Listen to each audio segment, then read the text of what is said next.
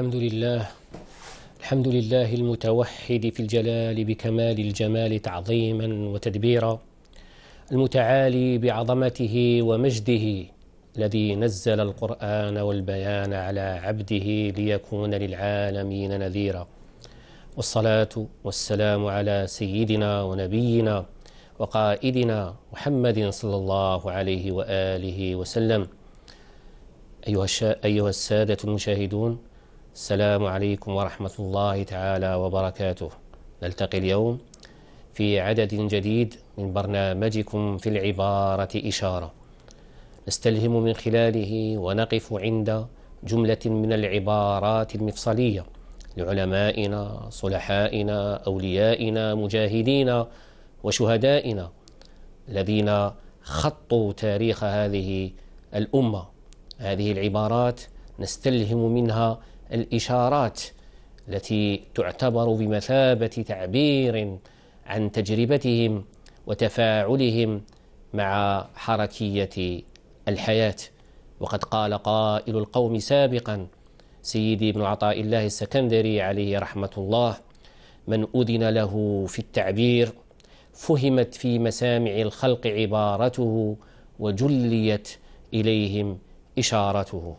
عبارة اليوم أيها السادة المشاهدون منسوبة لأحد أبرز علماء الجزائر وأوليائها في العقود المتأخرة إنه الشيخ سيدي محمد بالكبير عليه رحمة الله.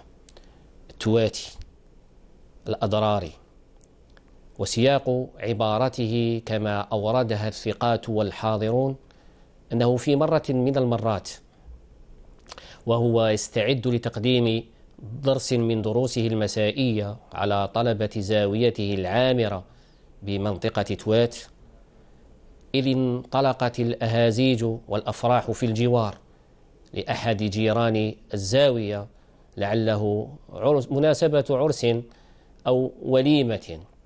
فكثر الصخب والأهازيج في جوار الزاوية مما شوش على الشيخ والطلبة تقديم درسه المعتاد على أبنائه الطلبة في هذه اللحظة تقدم جمع من الطلبة إلى الشيخ راجين إياه أن يدعو على صاحب الوليمة بالشر. سكت الشيخ هنيهة ثم رفع يديه إلى السماء وتوجه إلى الله داعيا. اللهم يا رب العالمين كما أفرحتهم وأدخلت عليهم الحبور والسرور في الدنيا فاجعلهم من أهل الفرح والسرور والحبور في الآخرة. تعجب القوم تعجب الطلبة. كيف أن الشيخ عليه رحمة الله أجابهم على غير مرادهم ودعا لجيرانه أصحاب الوليمة بالخير والسعادة والنجاة والنجاح في الدنيا والآخرة على غير مراد مقصدهم في بداية الأمر. استغرب الطلبة ووصل الخبر إلى أصحاب الوليمة والعرس فلطفوا من الأجواء واستجابوا خجلا وإكبارا وتقديرا لدعاء الشيخ فقللوا من تلك الأهازيج والحركات التي اعتبرها الطلبة تشويشا على مسار تحصيلهم العلمي والمعرفي.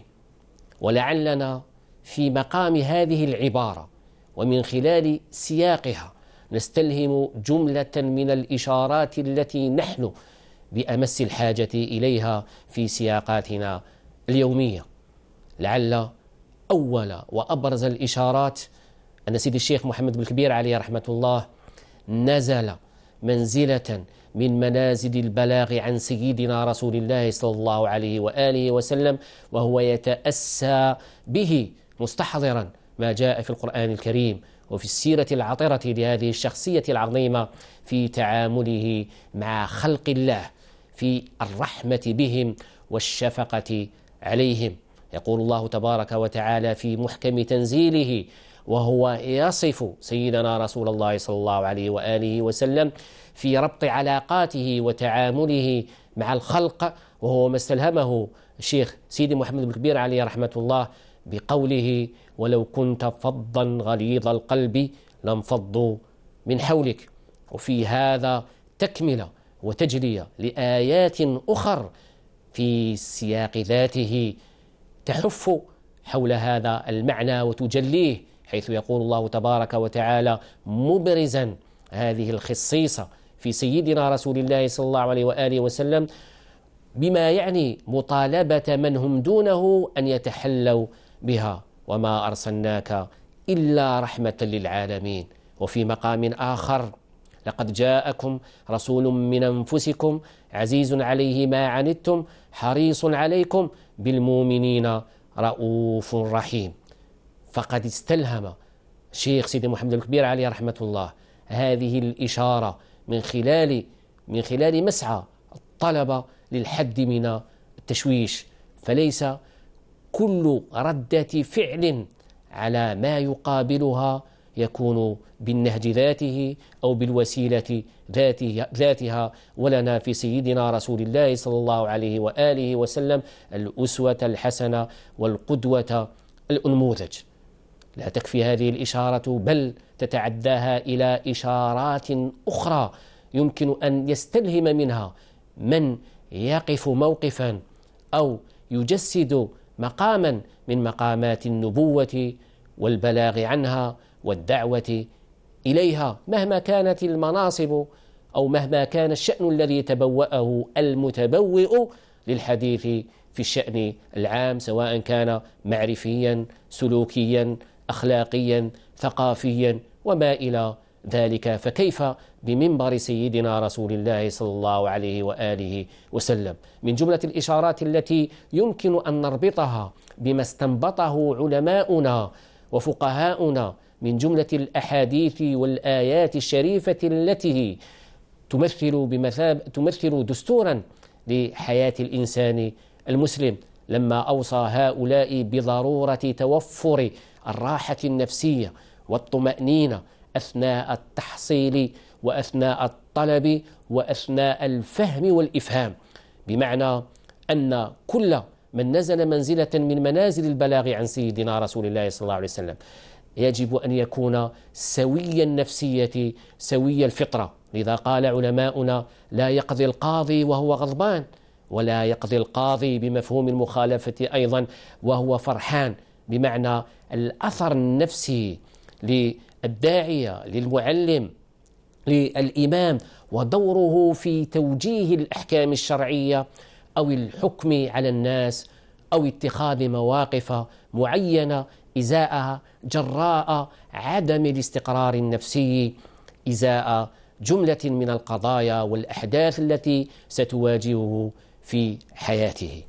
من هذا المنطلق سيدي الشيخ محمد الشيخ سيدي محمد بن كبير عليه رحمة الله نبه طلبته في درس من غير كثرة كلام ولا كثرة خطاب بضرورة الحفاظ على هذا التوازن النفسي المطلوب عند الإنسان المسلم ولا سيما إذا كان نازلا منزلة من منازل العلم أو القيادة أو الإدارة أو ما شاكل ذلك لأن الرجل مهما كانت قيمته ومنزلته ومكانته في القوم فإن القوم ينظرون إليه منظرا غير ما ينظرون إلى من يساويهم في الدرجة فهو بمثابة الولي بمثابة الأب بمثابة الأستاذ بمثابة العاطف بمثابة الحنون الذي يروم الرحمة بالخلق واستيعابهم في دائرة الحق أو في دائرة التشريع أو في دائرة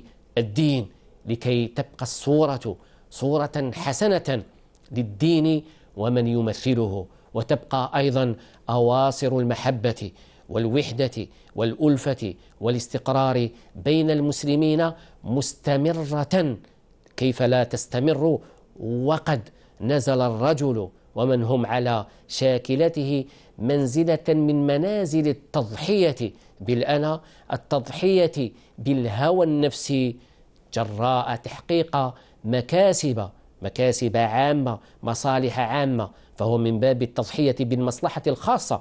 إذا جاز لنا أن نسميها مصلحة خاصة في سبيل المصلحة العامة التي حققت الألفة والاستقرار والطمأنينة في المجتمع. وهذا ما نحتاجه اليوم من خلال هذه الدروس التي نحاول استلهامها من هذه العبارة الشريفة لأحد أعلام أو أبرز أعلام الجزائر في العقود المتأخرة عليه رحمة الله. يكفي فقط أن نتوقف موقفا من مواقف سيدنا رسول الله صلى الله عليه وآله وسلم وهو يدعو لأبناء أهل الطائف بعدما أن حاصروه وضربوه وفعلوا به الأفاعيل. كذلك في هذا إشارة أخرى من الشيخ سيدي محمد الكبير إلى مكانة النبوة وضرورة الحفاظ على أمن واستقرار وانسجام المجتمع.